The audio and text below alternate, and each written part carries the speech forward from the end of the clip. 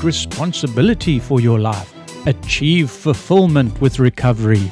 Check out responsiblerecovery.net. Hello to all suffering addicts, and hello to all the people who have found sanity in the recovery lifestyle. In this episode of Stories of Addiction, I will be talking to Marty about his addiction and his recovery from addiction. Marty is a client at the Gault House Sober Living Environment in Santa Cruz, California. He is 31 years old, and he has been addicted to heroin and benzos, amongst other things. How are you doing today, Marty? I'm doing great. Yeah, well, welcome and thank you for uh, thank you for coming tonight. sure Um, thing. Why don't you tell us how your addiction got started? My addiction got started. Um, I was a late bloomer, so my addiction got started kind of very naively.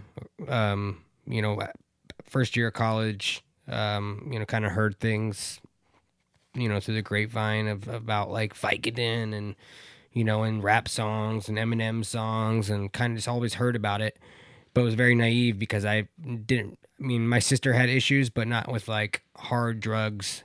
Um, so I never had kind of been face to face or knew anybody personally that had um, had went you know went through that that journey of addiction and the the ups and downs and you know main, mainly just downs but um but uh so I, I think I was if there was a first moment I- I think I was bouncing at a um a venue uh, out by my college. I was going to Azusa Pacific down in Southern California at the time and um, one of the bouncers like had Vicodin and you know offered it up and of course me and my buddies were you know we were down because we didn't know you know all we all we thought was there was just, was just you know good things about it. So I think it was the first time I took it. And of course because it was the first time yeah it was I mean you have some of the negative things that happen with just you know the way you feel from the actual drug. But um, that was the first time I think I experienced it, and it was mainly just you know good feelings of euphoria. Plus, you know,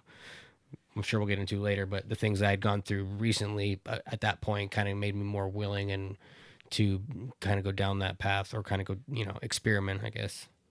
What do you you want to expound on that a little bit? Like what what you had gone through recently? Well, I just had had a, a, a bone marrow transplant. I just had hot, just had a, a bout of, um, I had, you know, the C word. It sounds hardcore with cancer or whatever, but I had Hodgkin's lymphoma. And so I just had a bone marrow transplant. And, you know, that was the second time I'd gotten sick. And, you know, at that point I was old enough to, for at least as much as you can at that, at that age, 17, um, to be kind of like, you know, screw the world and, and um, you know uh, I hadn't you know I'd been super clean cut up until that point, and so if you know now this is what happens when I do that. So now I'm you know if I was ever going to be open to experimenting just by the nature of you know growing up and being in that young college age, I was even more so. You know, it was it was amplified times a million because I just didn't care and you know I was just kind of the the the cuffs were off, and I was just gonna you know go not hold back and not say really not say no to anything essentially. So that's where I was at. So that's why I was I say I was not only was I naive, but it was amplified because of what I had just gone through, and uh, you know.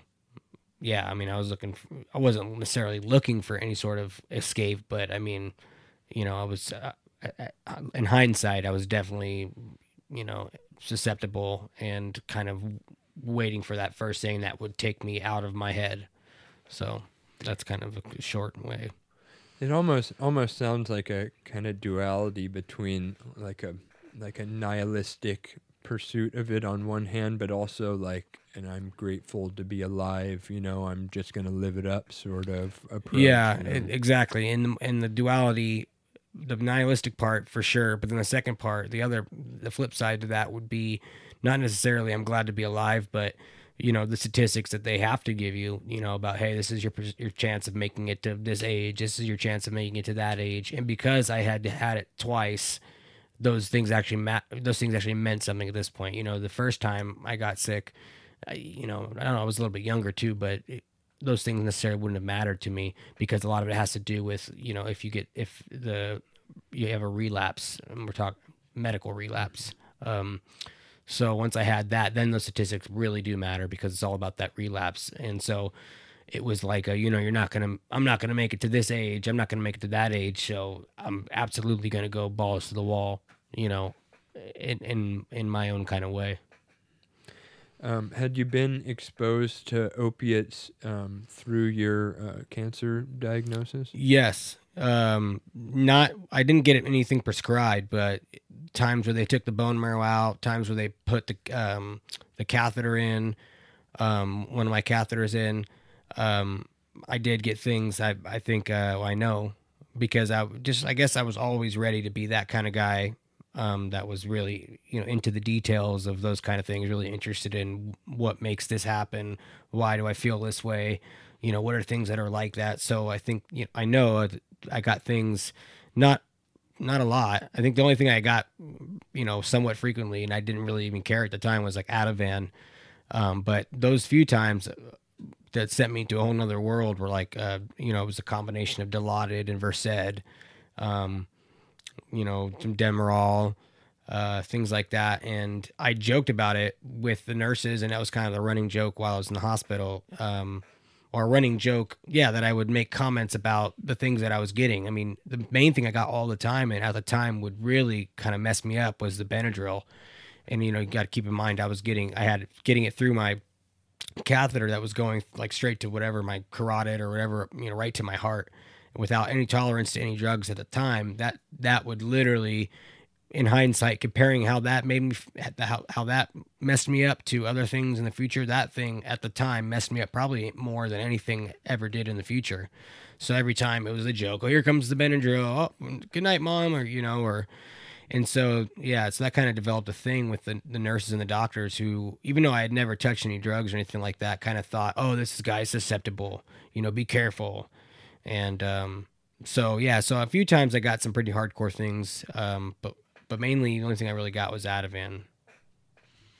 Hmm. So so let's go back to um to what you said about uh, the first time you you kind of abused you got the Vicodin from your Mhm. uh, was it a bouncer friend? Yeah, well, I, I didn't really know the guy; I just knew him from that, you know, venue or whatever. But yeah, it was just like some some huge, you know, monster Sasquatch guy that I'm sure that even probably helped too. Like, oh, look at this cool guy, this huge dude with all these tattoos, and you know. But I mean, yeah. So yeah, it was it was some random dude. So what what happened after getting the Vicodin that first time? Uh, I think the first time, it just you you get that you know you get the the, the fuzzy warm kind of um you lose your that thing that inside all humans that makes you kind of worry or you know uh, um you know uh the thing that make you know the thing that makes you just care about things kind of goes away and you still care but it's completely fabricated. It's a complete kind of just chemical care you know? You just you know everything's great and this and that and there's just no room for any sort of worry and nothing sticks. Even if somebody would were to mention something that was bothering you 5 minutes ago before you started being high it just comes in and it comes right out you know it nothing nothing bad sticks because you're just on this you know this cloud. And um, you know at the same time that i was doing that if i look back at something i just remembered because I, I as i said the thing that i got a lot in the in the hospital that i didn't even really realize it i almost didn't realize it in hindsight. I didn't realize it at all. Was the ativan. They gave me that out of the hospital like a bottle of that. And um, you know i remember sitting in my dorm room. This is the you know this was almost the more of the the the first of everything. Sitting in my dorm room that freshman year and i had developed or i got a panic attack. And i didn't know what that was. I know now what it was but i didn't know at the time. And it wasn't i wasn't thinking about anything. It wasn't you know uh, something bothering me and i'm panicking. It was just a physical you know my heart started racing and things like that. And um, you know, when I called the nurse, I had a nurse at the time that I could call. Um, they said, "Oh, here, that's why we gave you that stuff, that Ativan stuff." And I almost immediately, I feel like, you know, like I probably took it normal a few times, and this is with never doing drugs or you know, I didn't really wasn't uh, didn't drink other more so than any other high school kid who drank. Um, but pretty quickly, I started like, oh, so, uh, I'm gonna take two this time You know, I'm gonna take uh, I'm gonna take two, and and I fought off you know the guys in, in my dorm in, in my dorm. Um, you know that were smoking weed or this or that. I had still never smoked weed. Up, you know, I'm 18 at this point.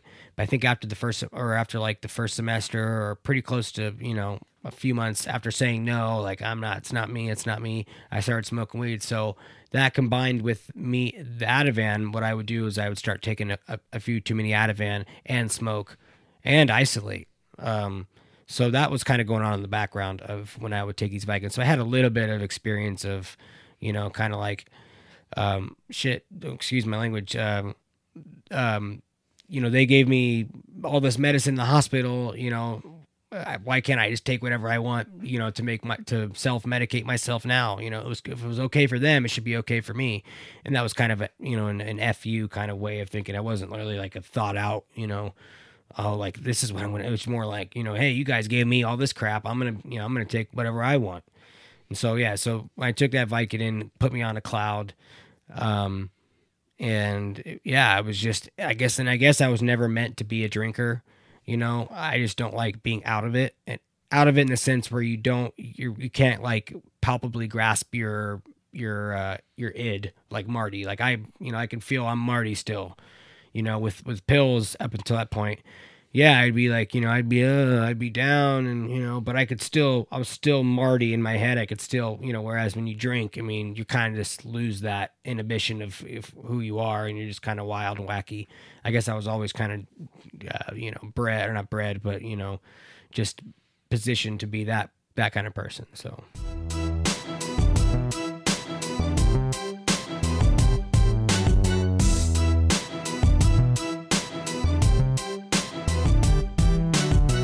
Take responsibility for your life. Achieve fulfillment with recovery. Check out responsiblerecovery.net.